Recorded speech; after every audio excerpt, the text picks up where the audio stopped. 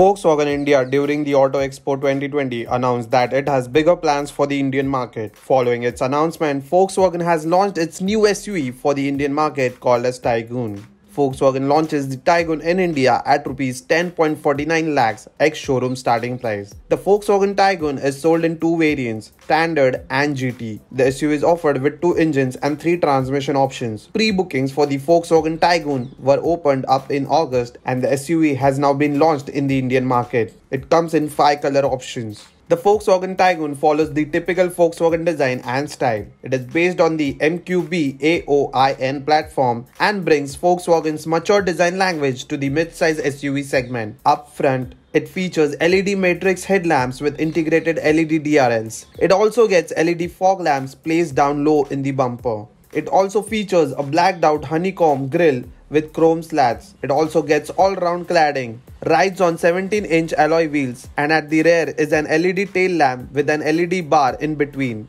Other design highlights include a shark fin antenna, roof rails, dual-tone ORVMs, etc. The Volkswagen Taigun features premium interiors with lots of colors and textures all over. It is a dual tone interior but the dashboard gets a silver strip that runs across it. It comes with a flat bottom steering wheel and steering mounted controls as well.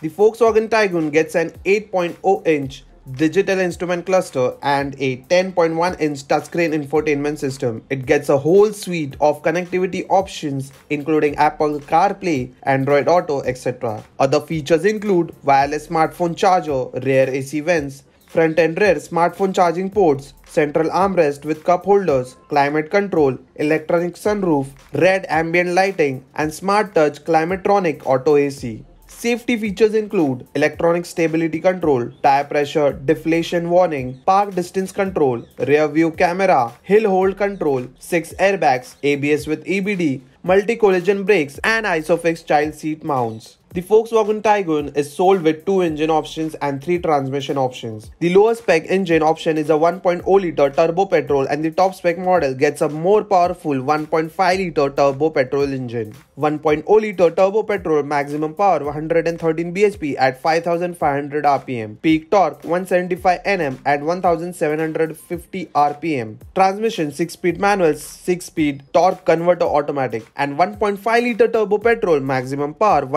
148 bhp at 5000 rpm, peak torque 250 Nm at 1500 rpm, transmission 6-speed manual and 7-speed DSG. What are your thoughts about this mid-size affordable SUV from the house of Volkswagen?